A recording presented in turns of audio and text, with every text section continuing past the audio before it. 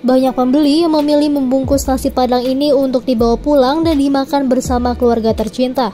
Oleh karena itu, biasanya nasi padang yang dibungkus porsinya akan lebih banyak daripada makan di tempat. Namun ada video makan nasi yang kemudian viral di media sosial. Hal ini terlihat pada salah satu video unggahan salah satu akun TikTok @inci.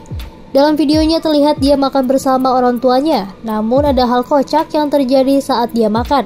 Dia tiba-tiba menemukan salah satu lauk yang ada di nasi padang seperti gigi palsu.